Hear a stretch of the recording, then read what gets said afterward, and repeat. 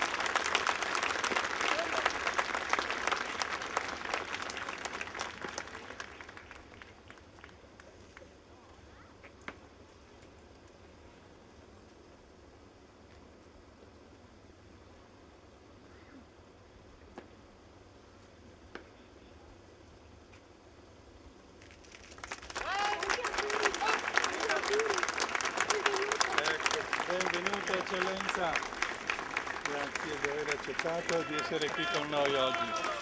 Signore la benedica, grazie, veramente. Eh? Sì, canonici.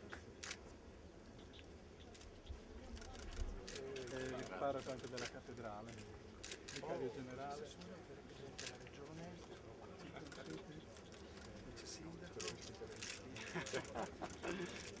signor prefetto, rettore dell'università, presidente della provincia,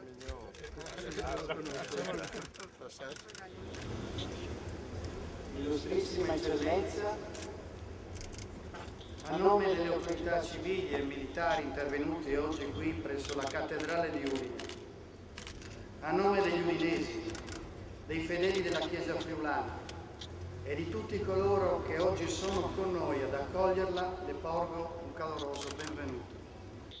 Anche oggi, nel momento in cui nuove emergenze, nuove paure, contingenti e generali colpiscono la nostra vita quotidiana, quando parliamo di lavoro, di integrazione, di convivenza, siamo a collaborare e a operare perché non ci siano derive che pregiudichino la civiltà della nostra vita democratica e civile. E quando proprio in questo momento dovremo affrontare penose situazioni che riguardano la ricerca di lavoro delle donne e degli uomini del nostro Friuli, che riguardano la serenità delle famiglie colpite da queste gravi emergenze, oppure quando ci troveremo ad affrontare tematiche complicate, a volte difficili, ma che ci mettono davanti a questioni che riguardano l'accoglienza, la difesa del valore della profuganza, tema caro alla tradizione della storia delle famiglie del Friuli, sparse in tutto il mondo, allora avremo bisogno tutti delle sue riflessioni, delle sue parole, perché insieme si possono cercare le soluzioni più vicine ai valori del Friuli. La sua presenza sarà per tutti riferimento nell'affrontare la vita comunitaria, nello spirito, nella solidarietà, nel civismo. Reseat Vespo, i Furlans, i Dani Robe Mignur, di Cur, a Udine. Buon lavoro.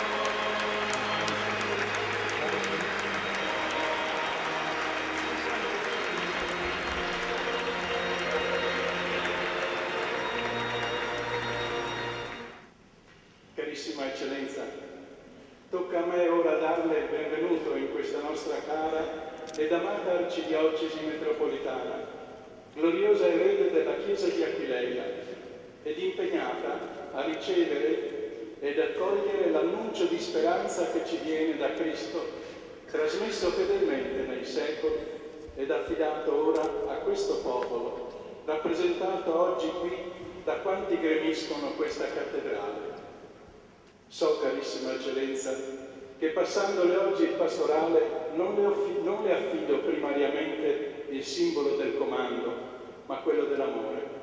Un amore paterno per questa nostra amata Chiesa udinese.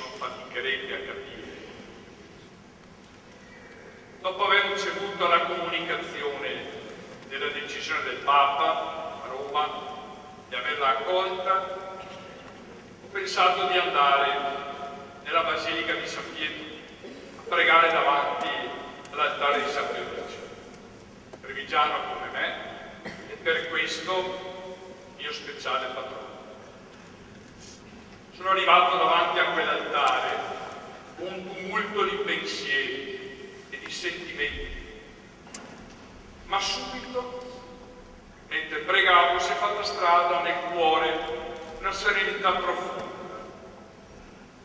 una serenità che non veniva dalla mia intelligenza o dalla mia forza di carattere. Ho capito che era una grazia di Dio.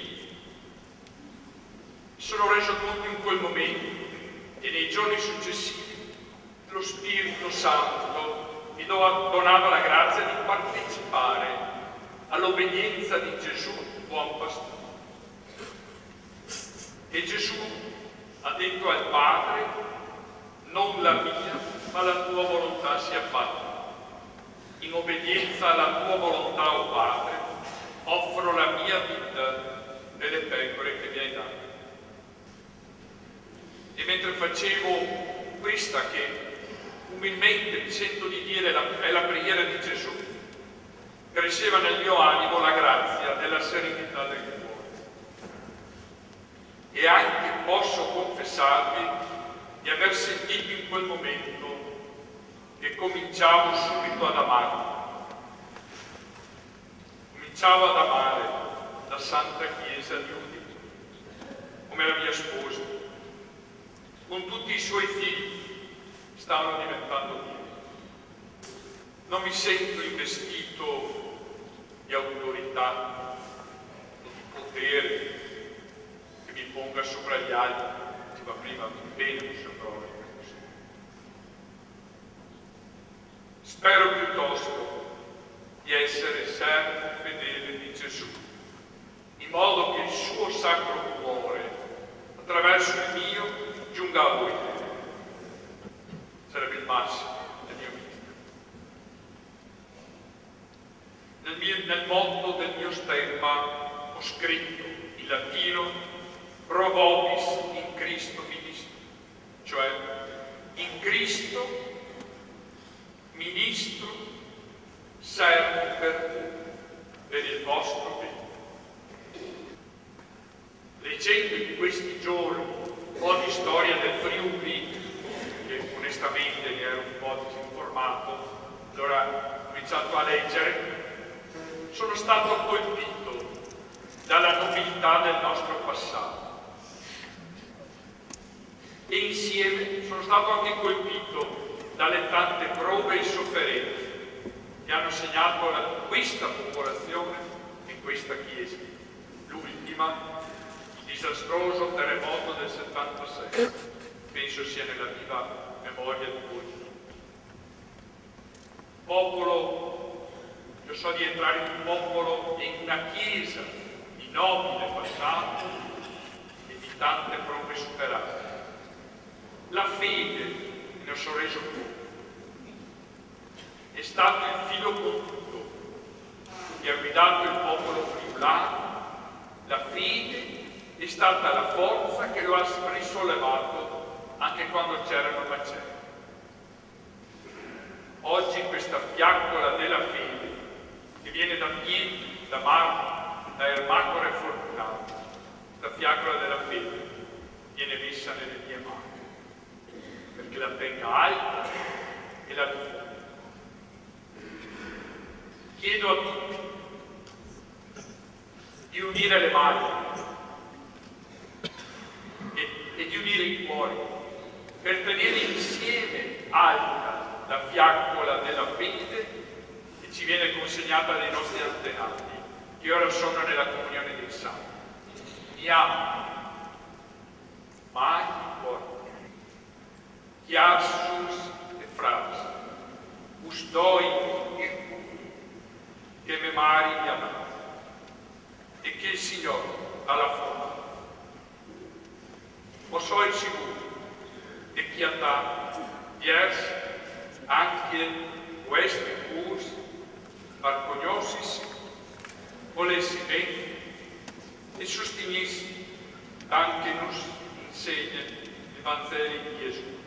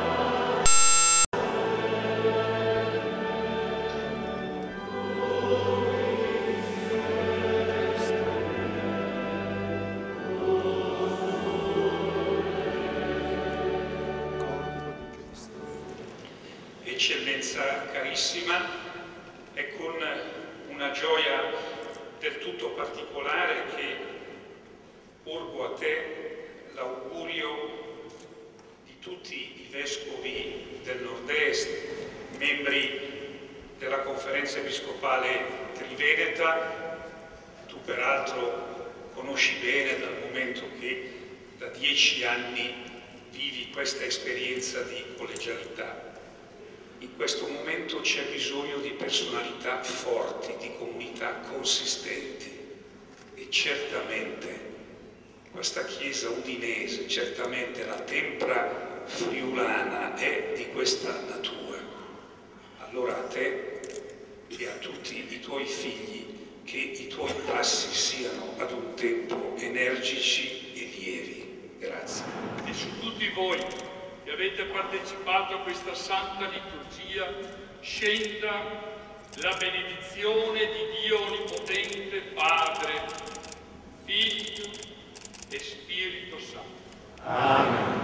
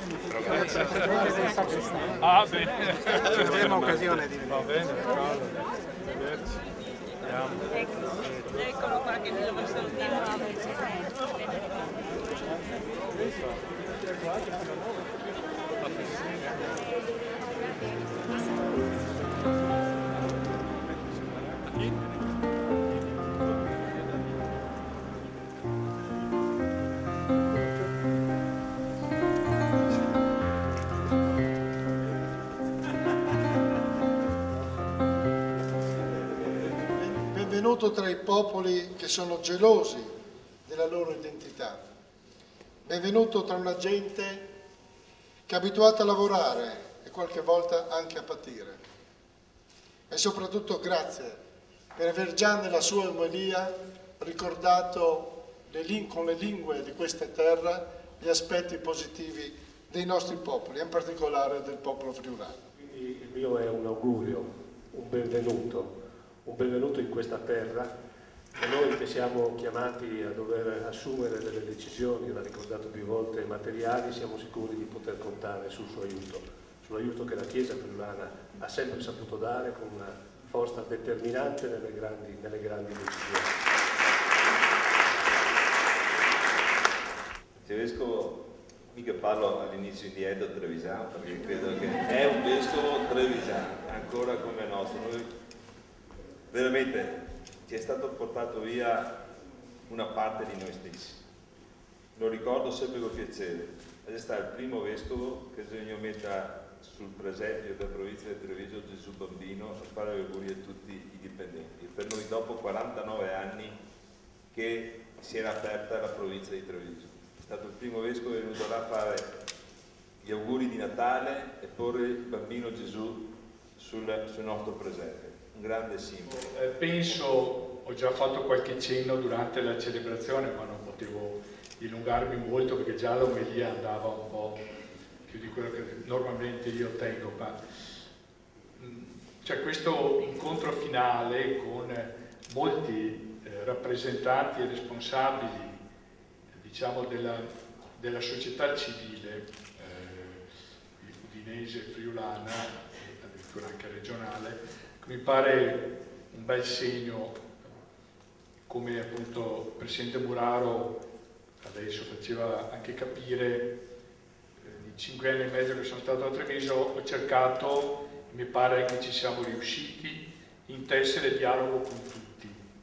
E volentieri sono sempre disponibile a incontrarmi, eh, a conoscerci più a fondo, a capire, perché io mi rendo conto veramente devo dirlo, insomma, sono ignorante, questo lo dico di ignoranza non colpevole, ma ignorante nel senso di non con conoscere niente della terra friulana, quindi vuol dire che arrivo proprio vergine per certi aspetti, perché quando a Roma mi hanno detto Udine, mi sono venuti in mente due facce solo, Monsignor Battisti e Monsignor Brollo, e basta proprio, perché non non conoscevo, non avevo frequentato, cercherò di entrare nella cultura, un po' di più anche nella lingua, insomma una frase ci sono arrivato, ecco, che perlomeno ho detto quello che volevo dire, insomma, ecco, mi interessava di dire. Ecco, quella slovena forse un po' meno, ma comunque, ecco, e così, e così penso che a me sia. Ecco, grazie ancora di essere venuti, Ricordo tutti nella preghiera, questo lo dico sinceramente perché la Chiesa ha sempre pregato perché ha responsabilità di governo, di governo, sempre per tutti. Pregava anche per gli imperatori che non erano stinchi di santi, tanto più per chi invece ha valori ecco, impegnio. Quindi, ecco, quindi ci accompagniamo così e a buon rivederci in tante occasioni e anche personalmente. Bene.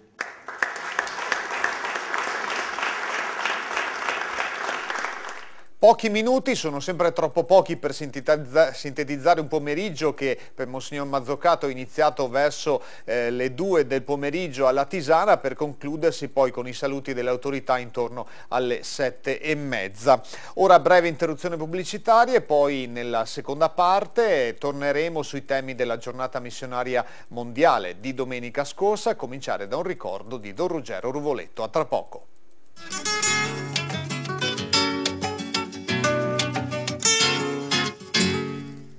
Era il 19 settembre scorso, è passato dunque poco più di un mese, ricorderete le notizie che si accavallarono in eh, quel sabato sera. Per noi, era mattina invece in Brasile quando eh, alcuni ladri per rubare poco più di 15 euro hanno eh, ucciso sparandogli alla testa Don Ruggero Ruvoletto. Ne abbiamo parlato ampiamente nelle scorse settimane, ne ha parlato anche la RAI con due servizi su RAI 1 e su RAI 2 riutilizzando anche tra l'altro, e li ringrazio ringraziamo parte dell'intervista fatta proprio in questi studi, l'ultima intervista di Don Ruggero. Torniamo eh, su di lui ricordandolo attraverso eh, le voci di una sera particolare che non vi abbiamo ancora proposto, è materiale ancora inedito, era la veglia promossa dalla diocesi di Padova proprio alla vigilia del suo eh, funerale. Rivediamo e risentiamo alcune voci di quella serata. L'evento della morte di Don Ruggero dobbiamo considerarlo davvero come una grazia del Signore, un messaggio che Dio rivolge e interpella tutti noi. La viglia di questa sera sta dimostrando, insieme con tante altre vastissime partecipazioni, la verità di quello che dice il Signore nel Vangelo, il chicco di frumento che cade in terra per amore, non muore ma produce molto frutto. Credo che sta già producendo tanto vasto frutto.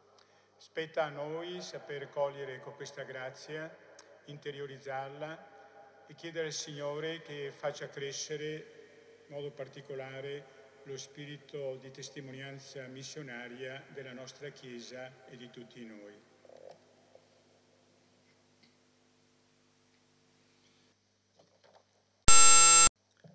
Abbiamo pianto tanto in questi giorni, il nostro cuore ha sofferto tanto e quanto ancora stiamo soffrendo per questa partenza inaspettata di Don Ruggero.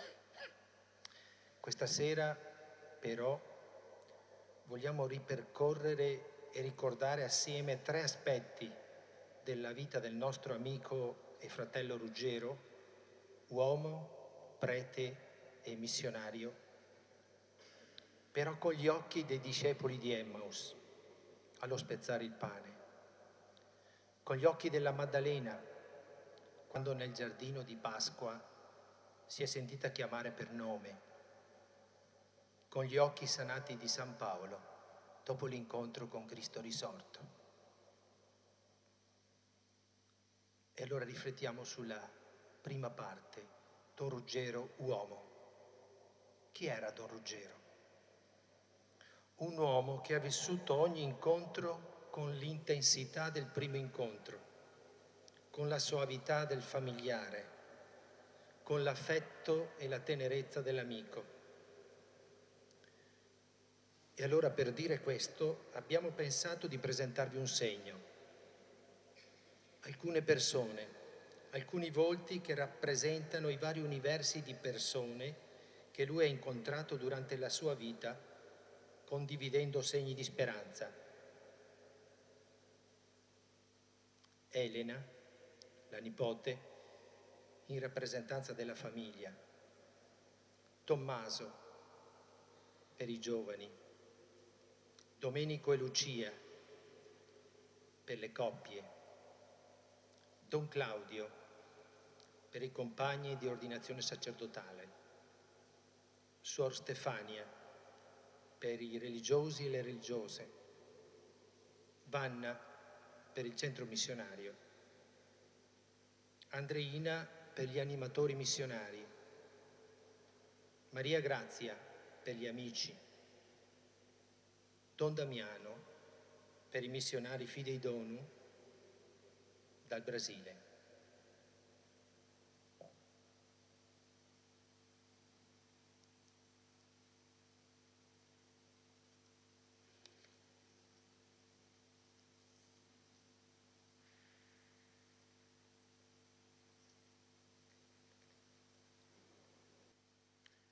Don Ruggero, il prete. È stato ordinato Don Ruggero il 6 giugno del 1982 assieme ad altri nove amici. Ha svolto il suo servizio in vari settori, accanto prima a Monsignor Filippo Franceschi, poi nella pastorale del lavoro e poi per otto anni con noi in centro missionario. E nel 2003 fu inviato dal Vescovo Antonio in Brasile la stola che viene portata adesso all'altare vuole indicare il suo ministero di ponte tra Dio e gli uomini. E il grembiule è il segno che ha sempre caratterizzato la vita di Don Ruggero. Era il modo con cui svolgeva il suo ministero. Un servizio pieno di incontri, di abbracci, di lavande di piedi a persone stanche e affaticate, di lacrime asciugate e di momenti di festa condivisi.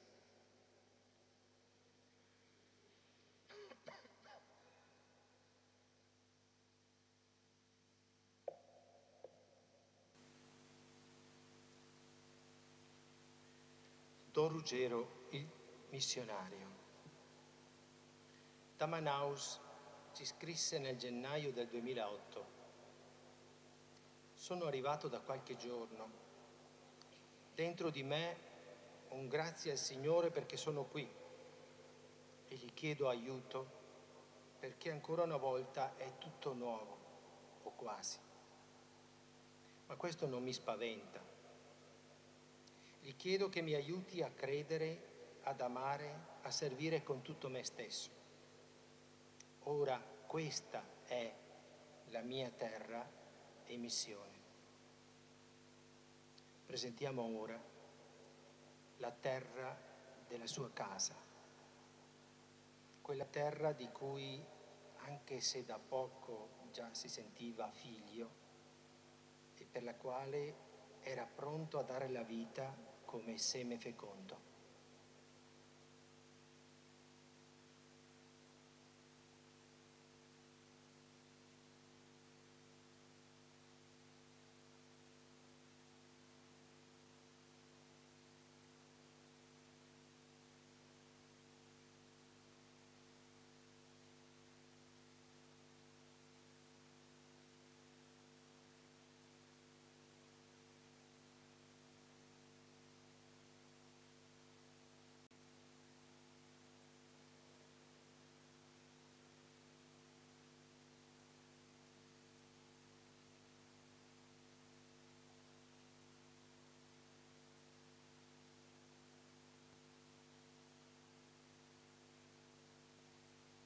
Testemunhança del popolo Chucuru, nação indígena de Pesqueira, Pernambuco, nordeste de Brasília. Amado amigo e pastor Dom Francesco, estimado parente e amici del nostro carissimo e amado Padre Rogério. Abbiamo il cuore pieno di dolore e di saudade saudade vuoi dire una nostalgia struggente. Nel ricordare la vita donata attraverso gesti concreti del nostro amico Padre Ruggero presso il popolo Chucurô nella diocesi di Pesqueira. Quando è arrivato da noi, avvertimo che era disposto ad assumere con coraggio la missione dei, dei nostri villaggi ed ha cominciato facendosi uno di noi.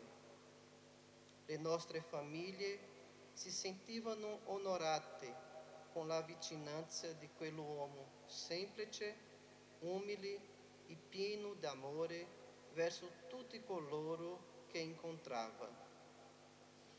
Prima di predicare, o di annunciare il Vangelo, lui si interessava di noi, voleva sapere come stavamo, ci ascoltava e anche quando era stanco non si lasciava abbattere. Qui il lavoro nei, nei villaggi è intenso, la missione è grande e ardua, ma lui non si è fermato davanti agli ostacoli. Nella sua moto o in alto saliva e scendeva la montagna dove noi abitiamo. Trascorreva tutti i fine, settimana portando il Vangelo in ogni villaggio senza badare, badare se era vicino o lontano neppure se avrebbe incontrato molte o poche persone nella cappella. Ciò che importava era la sua potenza nel donarsi e vivere intensamente quel momento. Quando veniva a celebrare con noi, sentivamo che la presenza di Gesù in modo molto concreto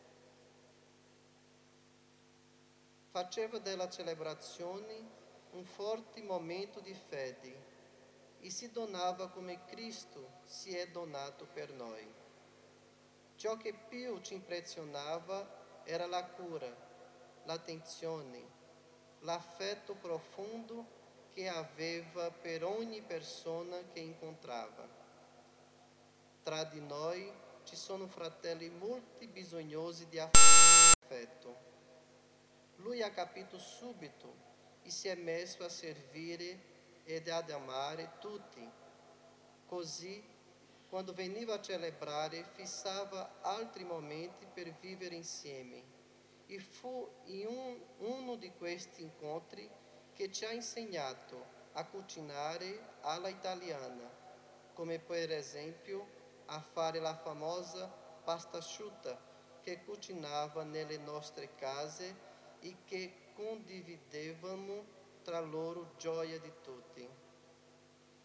Ci ha insegnato molte cose, fu molto veritiero e sincero, anche se a volte questo ci faceva soffrire. Però il modo di correggerci ci incoraggiava a continuare nella missione, migliorando sempre di più e ricominciando ogni qualvolta fosse necessario un giorno che ci ha visitato dimostrava di essere molto stanco e gli, dice, e gli dicemmo, Padre, riposati un po', coricati, dormi e rimani un po' tranquillo qui. La nostra casa è la tua casa.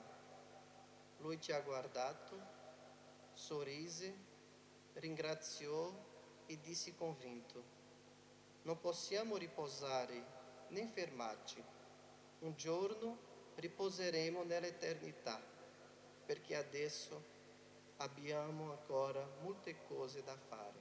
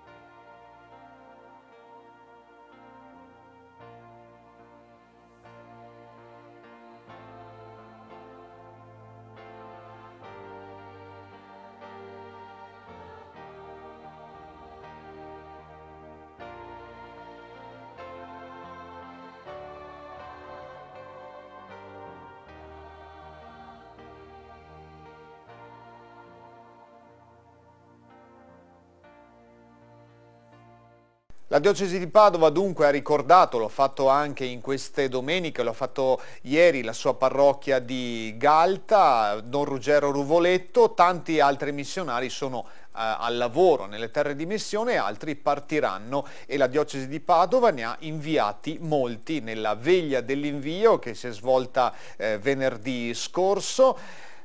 La veglia è stata seguita per noi da Valentina Voi. Vediamo il servizio.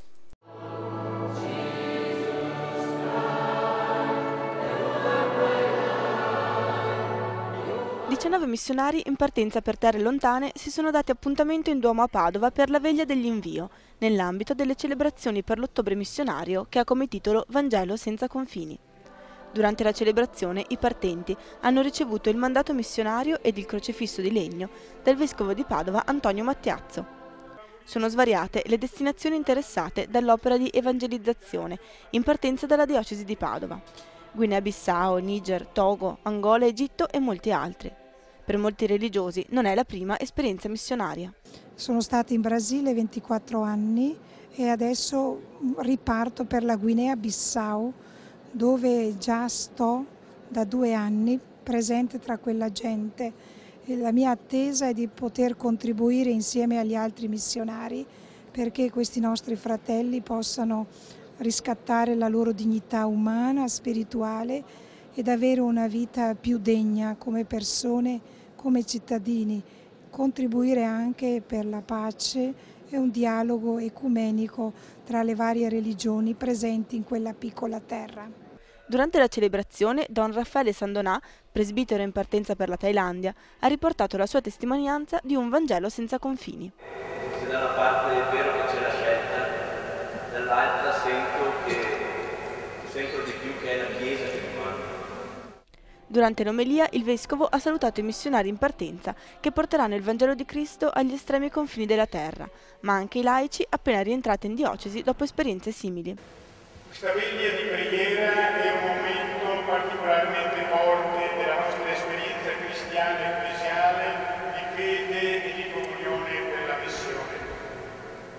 L'omelia del Vescovo è stata occasione anche di una riflessione sulla globalizzazione, fenomeno che apre nuovi spazi e offre nuove opportunità per la missione. Infine, un affondo ai media, colpevoli di dare poca attenzione all'Africa. Un continente, quello africano, che soffre per le condizioni di estrema povertà, ma anche per la mancanza di medici. In queste zone non abbiamo medici ben preparati, quindi Ecco, la nostra figura, il nostro essere là è proprio far sentire a questi fratelli che Dio è presente e loro stesso lo dicono, che lo sentono attraverso il nostro operare. In questa luce sarà fondamentale l'apporto dei dieci laici di Medici con l'Africa QAM, che hanno preso parte alla veglia dell'invio e che partiranno presto per il continente africano. Sono un pediatra e ero un primario di pediatria, sono andato in pensione, in casa non mi tenevano, i figli dicevano è ora che continui a lavorare e ho pensato all'Africa e vado a continuare a fare quello che ho sempre fatto. Durante la celebrazione è stata ricordata anche la figura di Don Ruggero Ruvoletto, ricordato anche dal pontefice durante l'Angelus. Siamo nuovamente insieme per dare continuità e concretezza alla missione cooperazione tra Chiese, che anche Don Ruggero stesso ha accompagnato e ha vissuto personalmente fino a dare il suo sangue. Giornata missionaria mondiale, dunque ne parleremo ancora tra poco dopo la breve interruzione pubblicitaria. Vi aspetto.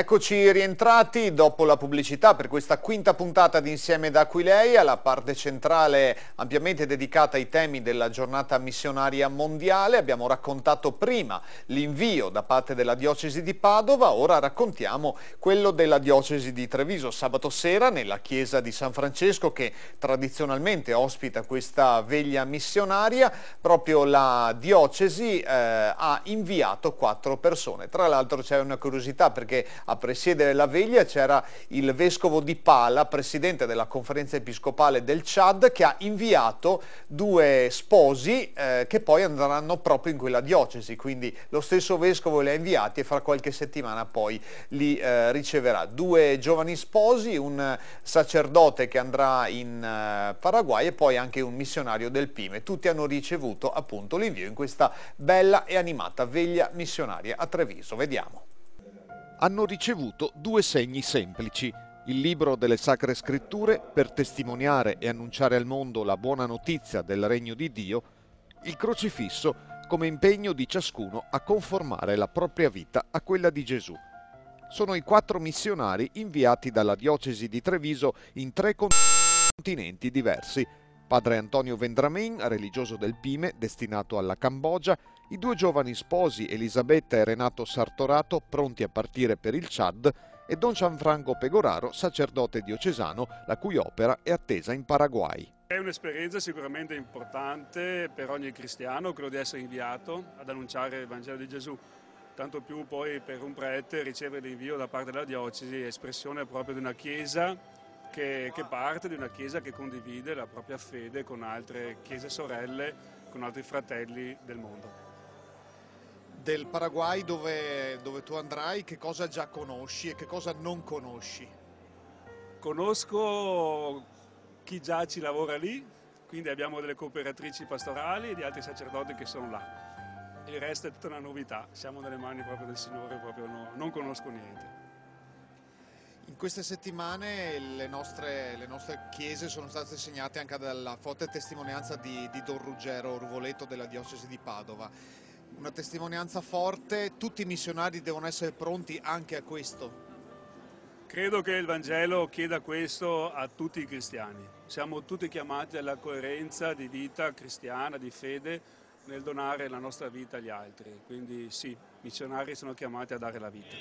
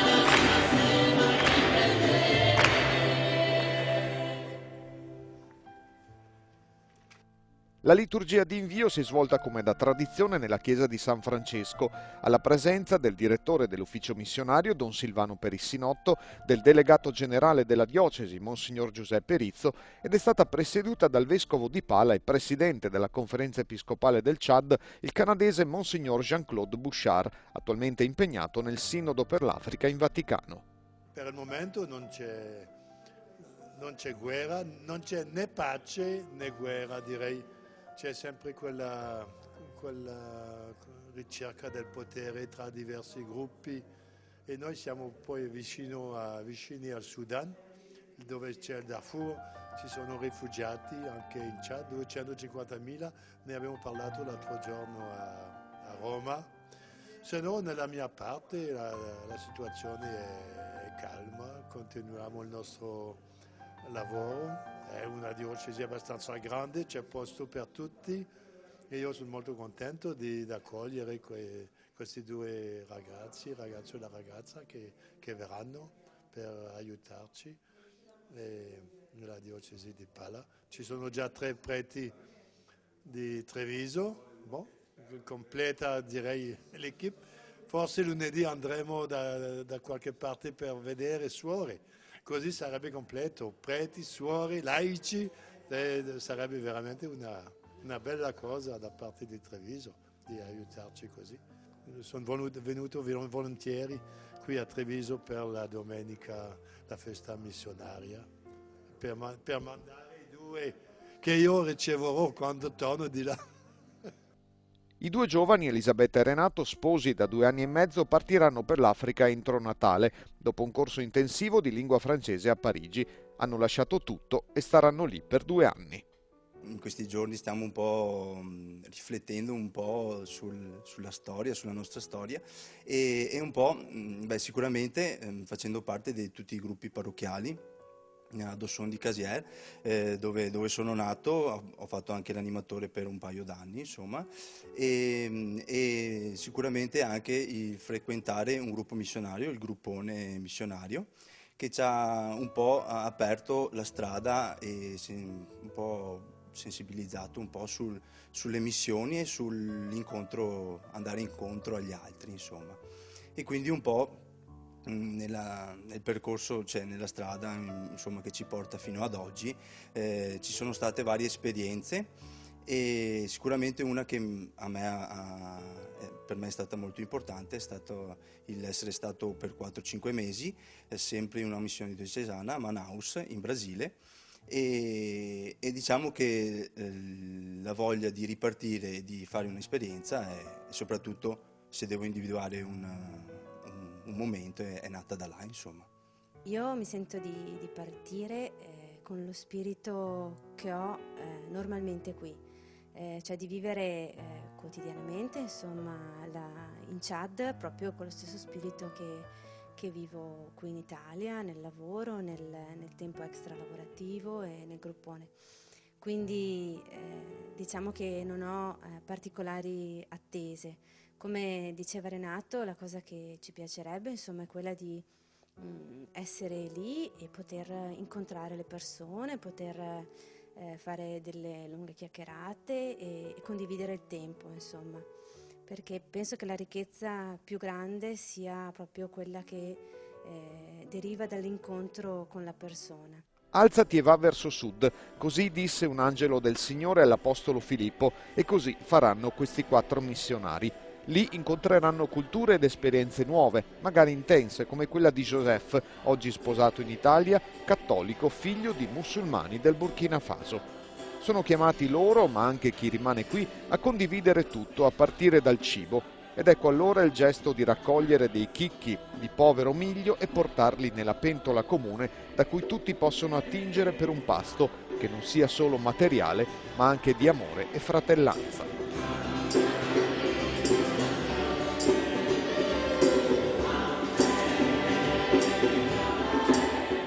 I temi sono davvero tanti da sviscerare, ne abbiamo parlato ampiamente dunque eh, di questa giornata missionaria mondiale, raccontando anche l'invio fatto a Treviso. Ora vi proponiamo un breve filmato invece eh, prodotto da SAT 2000 proprio per eh, riassumere e rilanciare ancora una volta i temi di questa giornata missionaria.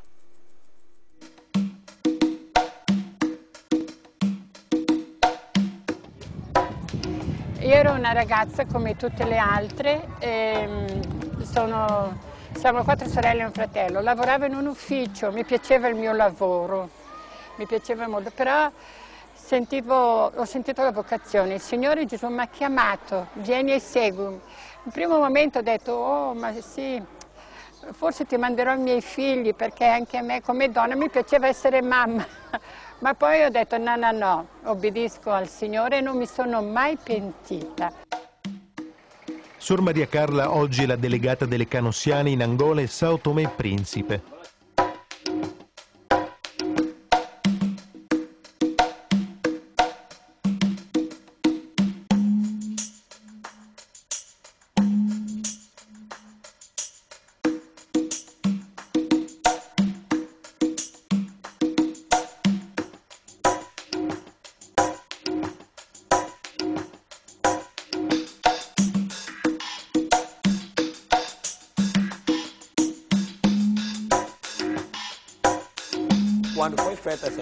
Quando è nata questa scuola io non c'ero, ma mi hanno raccontato che si trovava in una zona boscosa molto lontana dalla città, in una zona abitata da gente che proveniva dall'interno dell'Angola.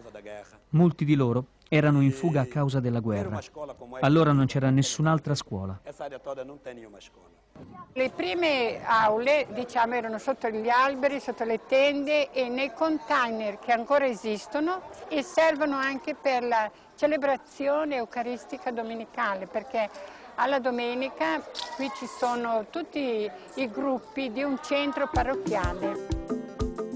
Nel Bairo Golf Sapu molti bambini ritrovano l'infanzia grazie alle figlie della carità, meglio conosciute come suore canossiane. La presenza delle canossiane è consolatrice. Come abbiamo constatato, sono persone che hanno pensato per prime alla situazione di sofferenza degli angolani e alle insufficienze nel campo dell'insegnamento. Con la scuola infatti le canossiane offrono l'opportunità di imparare a leggere e a scrivere, di ricevere insomma un'istruzione scolastica di base che potenzialmente predispone i giovani ad affrontare il futuro con le proprie mani, non più schiavi dell'ignoranza.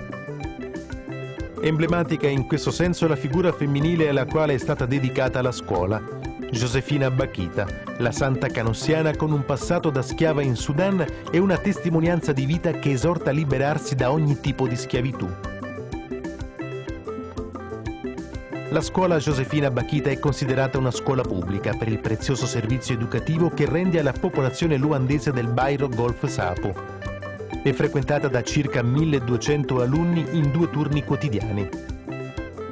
Ci sono eh, i più piccoli che entrano dalle 7.30 del mattino fino alle 12.30 e il gruppo dei più grandi fino all'ottava classe entrano dalle dalle 13 alle 17.45. Io sono catechista e mi piace evangelizzare, stare con i giovani.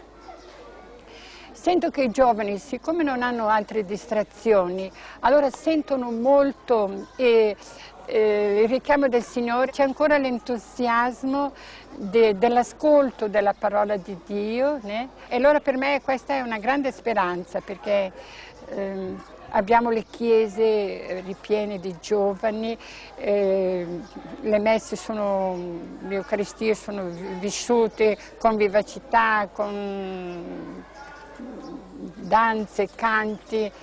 E la speranza per me è la gioventù che ancora ha sete di Dio e della sua parola.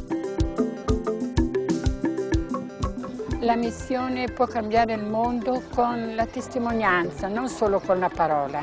Eh, anche i giovani eh, con la parola vogliono vedere anche la testimonianza di, un, di una vita vissuta, donata al fratello, non perché le parole parole, ma donate con l'esempio, con la semplicità, con l'amore. Ultima interruzione pubblicitaria di questa puntata di Insieme da Aquileia e poi torneremo per parlare della settimana della scuola a Vicenza, ricordare l'importante figura di un sacerdote, Don Pietro Zaramella, da sempre eh, impegnato nella sua vita, finché è stato in vita, nel mondo del lavoro. A tra poco.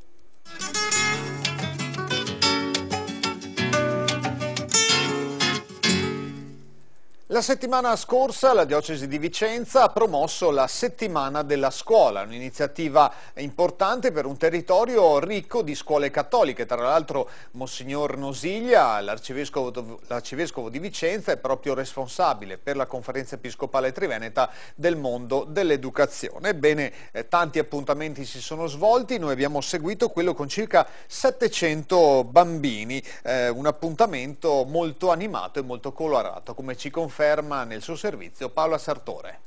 Centinaia di palloncini di tutti i colori, come di tutti i colori sono i bambini del mondo. Palloncini affidati al cielo e lasciati liberi di mescolarsi in un ideale arcobaleno. È stato questo il messaggio di pace affidato ai piccoli alunni delle scuole cattoliche di Vicenza e della sua diocesi, a tu per tu in maniera molto informale con il Vescovo in questa giornata speciale che li ha visti protagonisti all'interno della settimana diocesana della scuola. A loro e agli studenti delle superiori, Monsignor Nosiglia ha parlato in cattedrale di valori condivisi e di formazione ed educazione come preziosi beni da coltivare giorno dopo giorno, un impegno che le scuole cattoliche fanno però sempre più fatica a garantire. Vogliamo riaffermare l'importanza, il valore, la qualità di questa scuola che costituisce una realtà molto presente nella nostra diocesi, abbiamo più quasi 200 scuole e quindi siamo impegnati proprio a rendere queste scuole il più possibile vicine alla popolazione, vicine alle esigenze delle famiglie. Abbiamo necessità che siano riconosciute, come sappiamo, anche dal punto di vista non solo giuridico ma, eh, ma finanziario perché le, le, le, diciamo, le necessità sono sempre più grandi di quelli che sono i contributi che riceviamo. Solo nella diocesi di Vicenza sono 101 le scuole parrocchiali, una quarantina quelle gestite da enti religiosi e altrettante quelle che fanno capo ad associazioni di genitori. Solo nelle scuole dell'infanzia vengono seguiti 16.000 alunni, ossia i due terzi dei bambini in età scolare, ma per questa realtà la finanziaria 2010 già prevede tagli ancora più drastici rispetto al 2009, calcolati in 135 milioni di euro. Sopravvivere come scuola cattolica diventa dunque sempre più difficile, anche se chi è chiamato a gestire questo complesso universo educativo non ha nessuna intenzione di abbandonare la propria missione.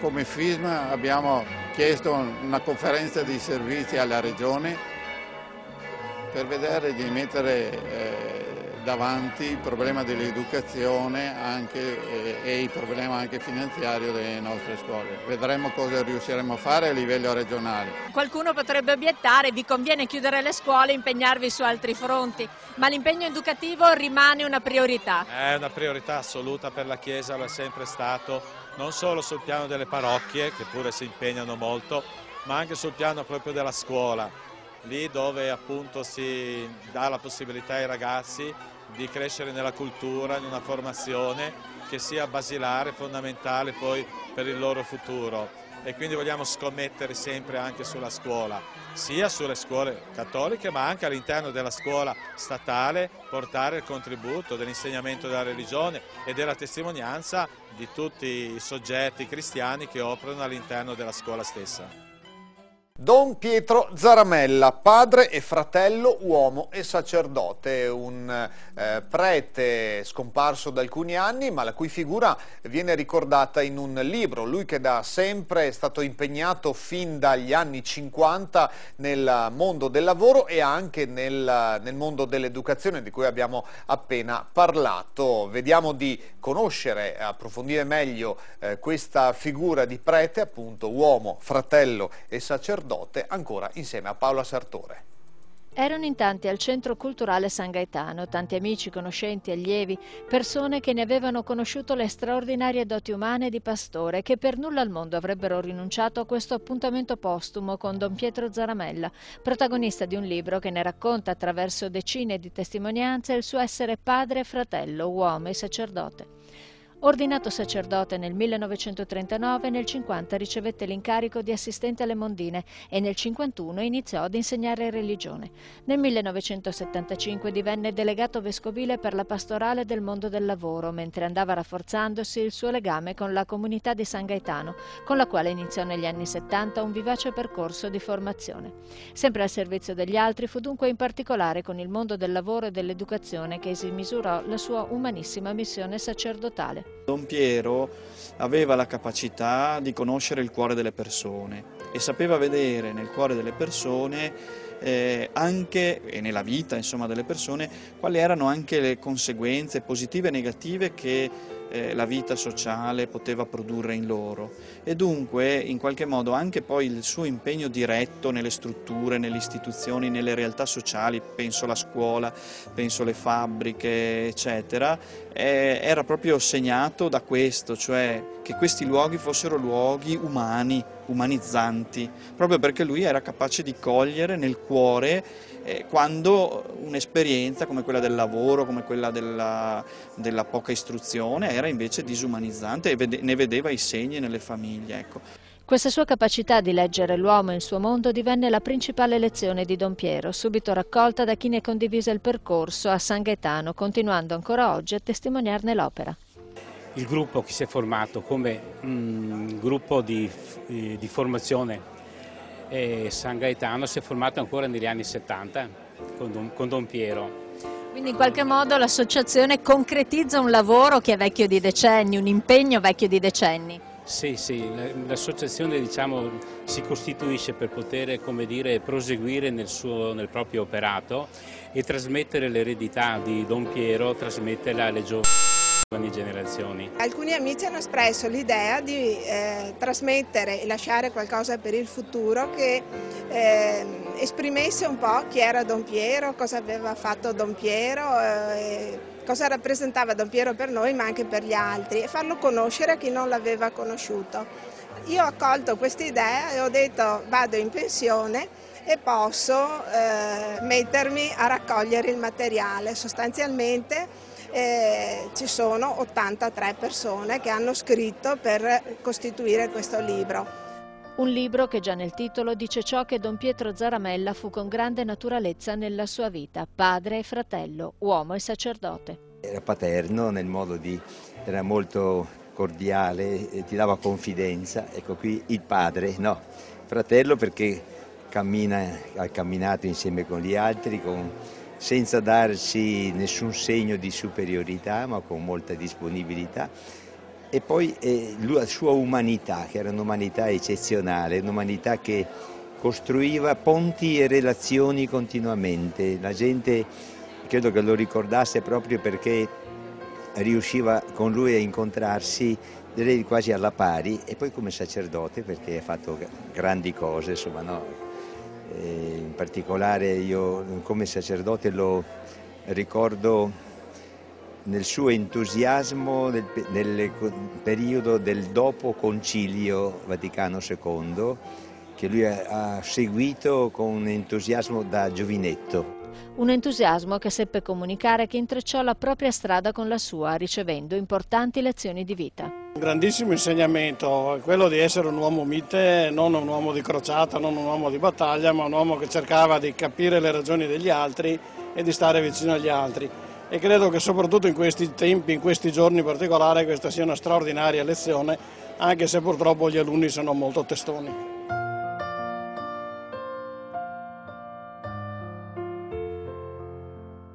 Con questo noi chiudiamo la puntata di oggi, la numero 5 di quest'anno di Insieme da Aquileia. Ci ritroverete sul nostro canale YouTube www.youtube.it barra Telechiara Produzioni. Ci ritroverete in onda sempre martedì alle ore 21 qui su Telechiara con altri temi, altre iniziative dal, dai nostri territori, dalle nostre comunità. Vi aspetto la settimana prossima. Buona serata.